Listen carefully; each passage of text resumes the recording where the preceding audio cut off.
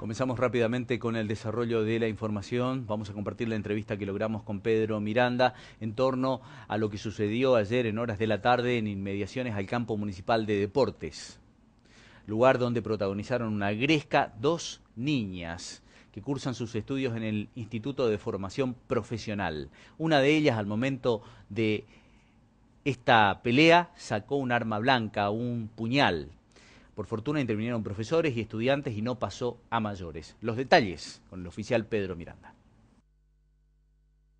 Sí, efectivamente, en la víspera, siendo las 15.45 horas aproximadamente, el personal de la División Comando Red Eléctrico Monte Carlo recibió una llamada telefónica anónima manifestando que en el campo de deporte municipal de esta localidad se había producido una gresca entre alumnas de un instituto educativo.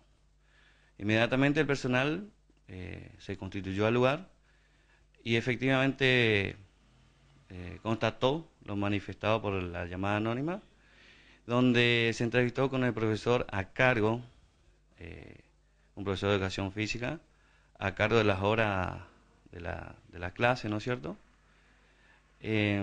manifestando que dos alumnas, tras mantener una discusión, se desconocieron y entre ellas forcejearon, de las cuales una exhibió un, un cuchillo, un arma blanca, tipo puñal, tipo navaja, de unos 20 centímetros de largo.